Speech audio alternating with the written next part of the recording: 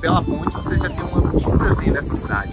É um ponto muito conhecido, hein? E aí, será que você descobre como é? É isso aí, olha só, nós estamos na cidade de Guararema, tá? Que é uma cidade que fica muito pertinho de São Paulo, assim, aproximadamente uma hora, tá? É uma cidade que você pode vir aqui, pode fazer um bate-volta, pode passar o dia com a sua família e depois voltar para sua casa e ainda aproveitar o final de semana. Gente, essa cidade é linda. Se eu fosse vocês, eu não perdia nenhum detalhe. Partiu, vem com a gente que a gente vai te mostrar tudo. É isso aí, vamos conferir o que, que tem nessa cidadezinha para aproveitar. E olha só, não se esqueça de deixar o seu like e de se inscrever aqui no canal. Aqui, ó, tem aventura todas as semanas. Exatamente. Todo dia, a gente, toda semana a gente mostra um destino novo para vocês. É isso aí, partiu!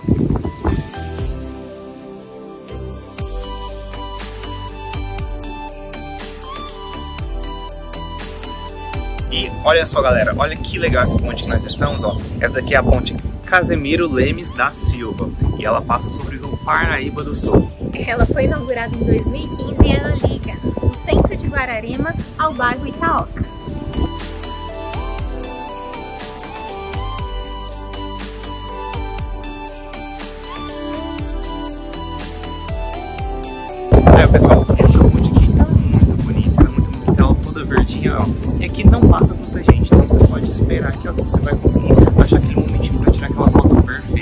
Olha só, confere nossas fotos aí como ficaram legais.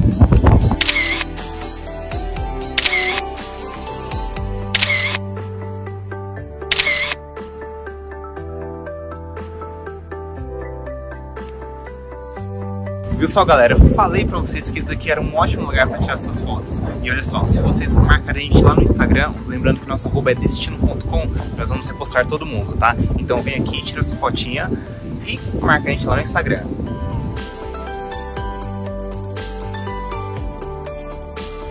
E aí galera, olha só, nós viemos aqui trazer mais uma dica pra vocês, tá? E essa é importante, hein? Essa é muito importante, principalmente para quem vai vir de moto ou de carro, como é o nosso caso. Aqui, ó, pertinho do Recanto do Américo, tem um lugar que você pode colocar seu carro ou sua moto. Ele é bem espaçoso, tá? E ele fica aqui na rua. Rua Coronel Ramalho. Rua- É a principal rua, é a rua de entrada mesmo. Você chega por ela e logo do seu lado direito você vai ver um estacionamento bem grande, bem amplo. É isso aí, olha só, nós já deixamos, ó, a moto pra aqui, ó. E olha só, quanto carro tem estacionado aqui, ó.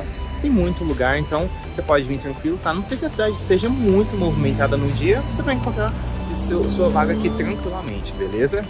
É isso aí, bora explorar a cidade. Olha só, galera, nós já estamos aqui na nossa próxima parada e esse daqui é o Recanto do Américo.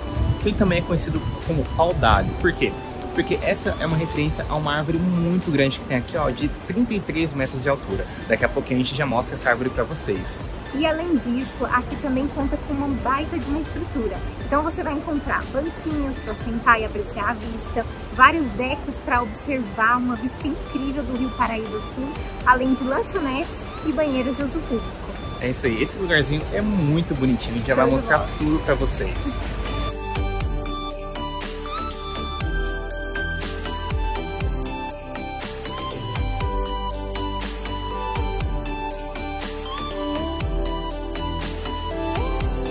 Galerinha, e nós ainda estamos aqui no Recanto do Américo e olha só a paisagem que tem aqui, ó. Então você pode descer as escadinhas, você pode vir aqui, pode tirar sua foto e depois, ó, você pode encostar aqui, ó, e ficar só observando esse riozinho. Olha só como que é calma essa água.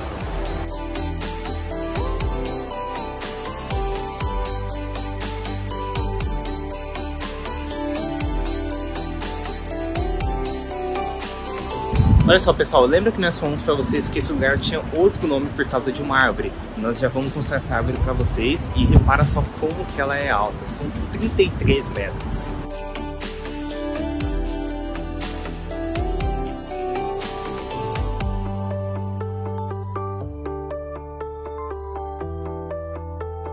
Galerinha, e olha só o que nós acabamos de descobrir aqui. Guararema está completando 123 anos. Então, no mês de setembro vai ser um mês de comemorações. A gente já vai mostrar a plaquinha para vocês. Se vocês quiserem aparecer para aproveitar essas programações,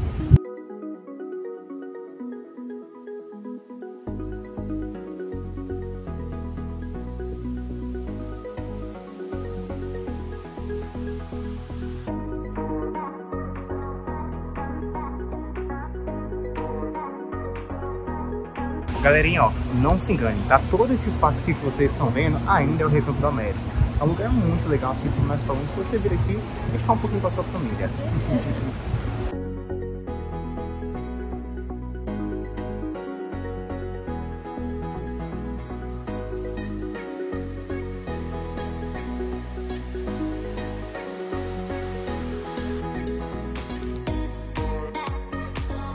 Galera, olha só, ali do outro lado é a entrada do Recanto do Américo.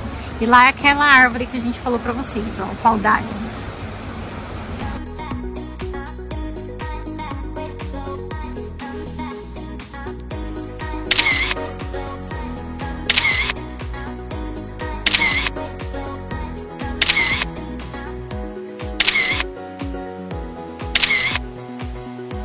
Nós acabamos de chegar aqui na nossa próxima parada, tá? Nós estamos aqui na Praça 9 de Julho e atrás da gente está a paróquia de São Benedito. E aqui, galera, costuma ser o ponto de encontro de todos os moradores aqui de Guararema. Um lugar super tranquilo, aquela típica pracinha do interior em que você pode sentar no banquinho e apreciar o movimento. É isso aí. E aqui, ó, tem uma coisa muito legal que é um carrinho de pipoca retrô que costuma sempre estar por aqui. Ele está bem aqui do nosso ladinho, nós já vamos mostrar ele para vocês. Então vocês podem vir aqui, podem comprar uma pipoquinha e observar o, o movimento, o movimento de uma cidadezinha do interior. É isso aí.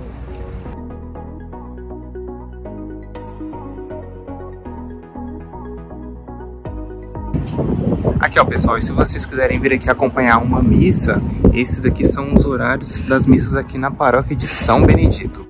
É isso aí, nós acabamos de conhecer aqui a igreja. Ó, nós vamos mostrar para vocês o carrinho de pipoca, né? Olha ele aqui, olha ele aqui. Pessoal, esse carrinho de pipoca é sensacional. E os preços dele são o seguinte, ó. A pipoca média são 10 reais e a pipoca grande 12 reais, beleza? Pode ter certeza que aqui em Guararema você vai estar muito bem servido com opções de alimentação. Tem pastel, caldo de cana, porções de peixe, costela no bafo, tem também comida típica nordestina, tem pizza, tem opções veganas, ou seja, tem opção para todos os gostos possíveis. Então aqui você não vai passar fome, pode vir tranquilo.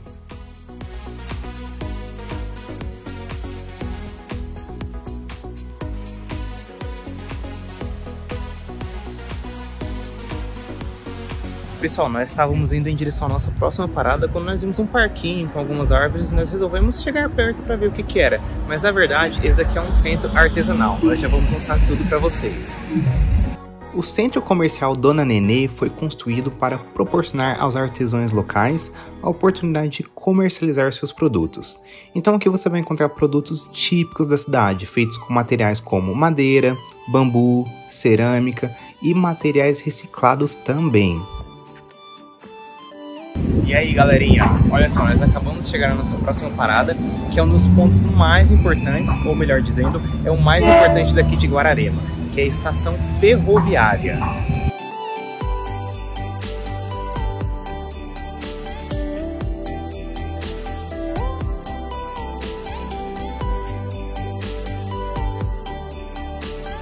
É isso aí, galerinha. A gente mostrou um pouquinho da estação ferroviária para vocês e ali dentro funciona um pequeno museu com peças antigas. Então você pode comprar a sua entrada para poder visitar lá, conhecer um pouquinho da história da, da estação ferroviária. Além disso, existe um passeio aqui de trem na estação você consegue fazer aos finais de semana, feriados, inclusive vocês devem ter ouvido aí a locomotiva apitando, tá? Mas é super bacana, os preços a gente vai deixar aí também, então você congela a imagem e já tem noção, beleza?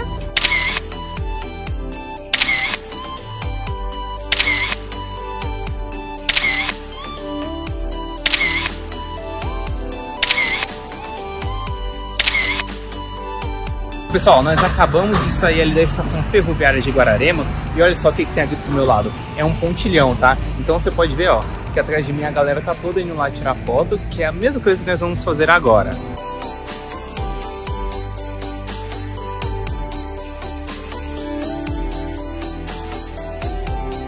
Pessoal, esse pontilhão aqui, ele é de 1910 e essa é uma estrutura belga que foi construída pelos ingleses. Ele passa sobre o rio Paraíba do Sul e esse pontilhão ele tem 165 metros de comprimento e dois semiarcos.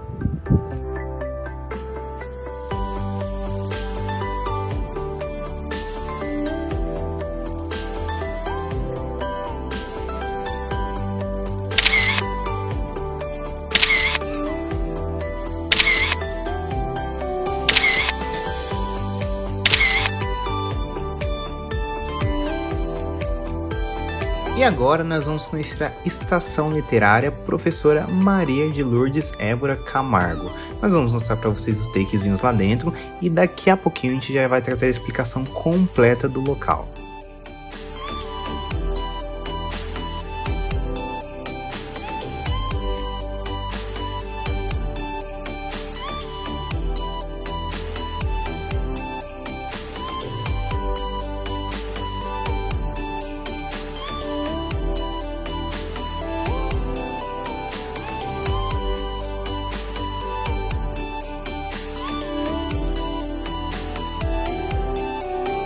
Pessoal, nós acabamos de sair da estação literária Professora Maria de Lourdes Évora Camargo, tá? Nós não gravamos lá dentro porque ali é um espaçozinho para leitura, tá? Então é, não pode fazer muito barulho, mas esse espaço é muito legal e nós vamos falar um pouquinho sobre ele, né? Não, Rê? Exatamente. Ali dentro a gente não gravou falando, mas a gente gravou alguns takes, vocês vão ver aí. É, tem diversos livros, diversos temas, diversas obras, obras de arte também. E ali possui um espaço muito bacana para leitura, tem área de conveniência, lugarzinho para você tomar o seu café, tem auditório, é muito tranquilo, vários computadores também para você usar. E tudo, gente, melhor ainda, de graça, né? Não, é isso aí. Eles também são muito organizados. Logo na entrada, se você tiver com mochila, que é como é o nosso caso, eles têm um armáriozinho, então você pode ir lá, pode guardar sua mochila e aí você pode aproveitar o espaço, pode pegar um livro para ler, também tem computador para usar. É um espaço muito legal e é um espaço importante também porque isso incentiva a educação, incentiva a cultura, né? Que é uma coisa que a, o incentivo público deve fazer. Exatamente, galera. Além de incentivar vocês a viajarem, vocês podem perceber que o nosso conteúdo sempre tem alguns pontos históricos. A gente sempre gosta de saber dos lugares que a gente vai né? E saber que existem ainda cidades que dão tanto valor assim, né? A literatura, a arte, a educação é muito bacana e a gente gosta sempre de trazer para vocês. É isso aí. E também, além disso, é, vocês podem reparar que esse prédio ele é muito diferenciado. Aqui na cidade de Guararema é um dos prédios que mais chama atenção pelo seu estilo que ele, é, ele tem uma fachada de vidro, tá? E é um dos mais modernos que tem aqui, ou seja, é realmente um grande incentivo mesmo. Muito bacana, Guararema, 10 para você. Show de bola. Olha só, acabamos de chegar na nossa próxima parada. Esse daqui é o Parque Municipal da Pedra Montada. E olha só, uma curiosidade aqui para vocês. Ele recebe esse nome porque aqui no parque tem duas pedras que ficam uma em cima da outra. Elas possuem 2 metros de comprimento e ao todo 9 metros de altura. Ninguém sabe ao certo como que aquelas duas pedras foram parar ali.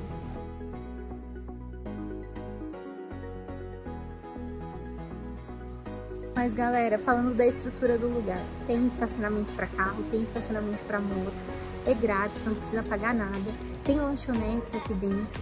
O parque é muito lindo, é muito bacana, é cheio de trilhas para fazer, além das pedras, tem uns riachozinhos, umas cachoeiras, bem bacana. É isso aí, para você que gosta daquele verde, gosta de aproveitar a natureza, esse daqui é o lugar perfeito para você. Ele fica uns 10 minutinhos, talvez até menos ali do centrinho de Guararema, tá? É muito perto, como nós dissemos, você pode vir aqui pode deixar o seu veículo tranquilamente, beleza?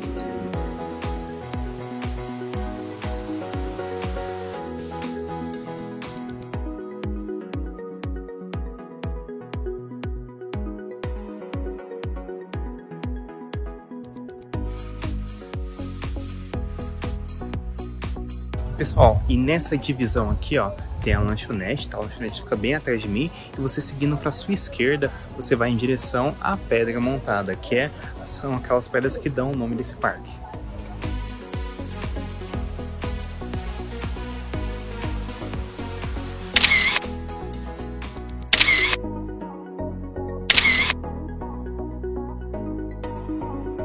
E finalmente nós chegamos ao nosso último ponto de hoje, né? A nossa última parada. Que peninha, né? A gente gosta tanto de Guararema, gente, se a gente pudesse ficar aqui mais tempo.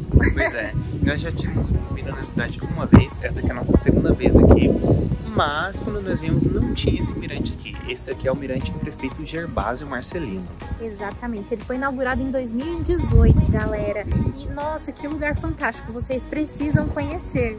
Esse mirante é incrível, tem uma vista incrível da cidade, né não, amigo? É isso aí.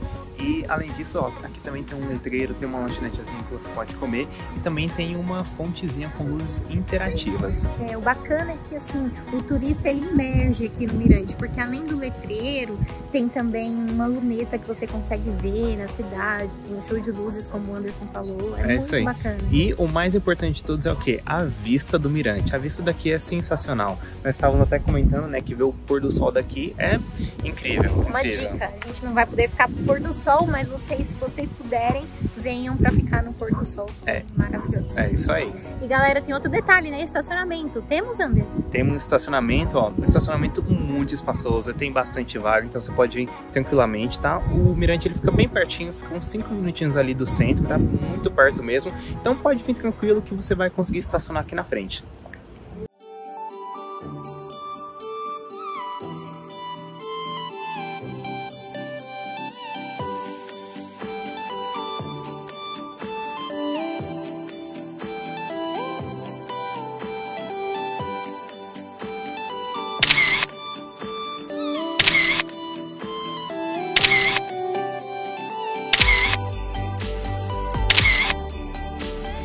Galerinha, e da vista sensacional desse mirante, nós vimos dizer, infelizmente, que nosso vídeo está acabando, tá? Tudo que é bom dura pouco, né? Pois é, a nossa aventura em Guararema está chegando ao fim. Muito obrigado a você que acompanhou a gente até aqui, tá? Não se esqueça de deixar o like e se inscrever aqui no canal, tá? Lembrando que aqui tem aventura todas as semanas. Exatamente. Nesse vídeo a gente vai deixar um desafio para vocês. Comentem aqui embaixo que cidade que vocês gostariam que o destino.com fosse, não é não, Anderson? É isso aí, nós vamos ler todos, todos os comentários aqui e assim que possível nós vamos indo nas cidadezinhas e vamos trazendo os videozinhos aqui para vocês. Valeu, galera! É isso aí, até a próxima aventura.